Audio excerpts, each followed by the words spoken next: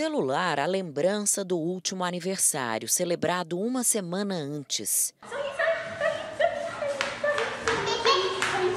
Alice Emanuele, de 3 anos, morreu depois de se engasgar com a fruta que mais gostava. Ela amava uva. A fruta que aqui nunca faltou foi uva. Levantava, pegava as uvinhas dela. Ela pedia botar do lado da cama, ela ia pegando e ia mastigando. O acidente aconteceu no último domingo. A mãe conta que já estava deitada quando foi acordada pela filha pedindo ajuda. Eu não sabia com o que ela tinha engasgado até então, mas eu vi que ela estava engasgada. A família saiu desesperada na rua. Uma vizinha, que é enfermeira, fez os primeiros socorros. Coloquei ela de bruços, fez todas as manobras, né? E eu vi que com a manobra uh, uh, não estava tendo resultado. Coloquei o dedo na garganta dela, sim, e no primeiro já tirei a uva. Alice chegou com vida ao hospital, mas morreu no dia seguinte. Lutou mais muito mesmo, mas foi muito mesmo. O número de mortes por engasgo de crianças de até 9 anos cresceu 40% em três anos no Brasil.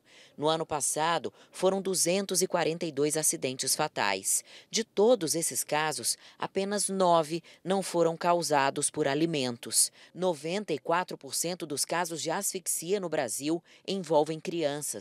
Os alimentos precisam sempre estar picados em pedaços bem pequenos. As características anatômicas das vias aéreas das crianças determinam que até os 4 anos de idade haja um risco maior de acontecer um engasgo. Primeiro, porque elas estão aprendendo a mastigar e aprendendo a engolir.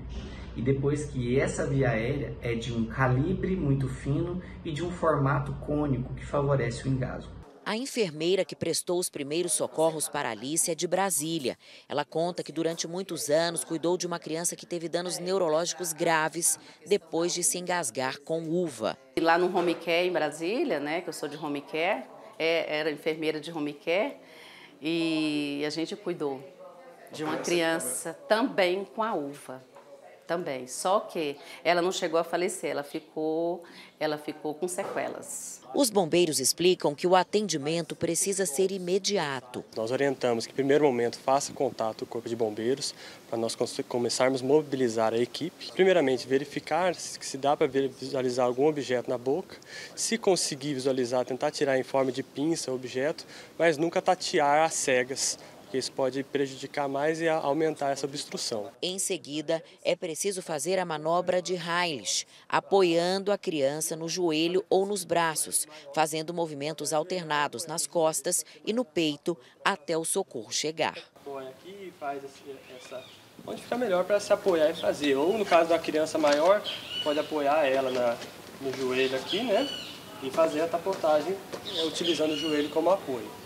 Então, no caso, ela fica apoiada aqui, baixa a cabeça um pouco mais do tórax e faz o movimento. A mãe da Alice acredita que a menina poderia estar viva se a manobra tivesse sido feita antes. Ela era a filha caçula do casal.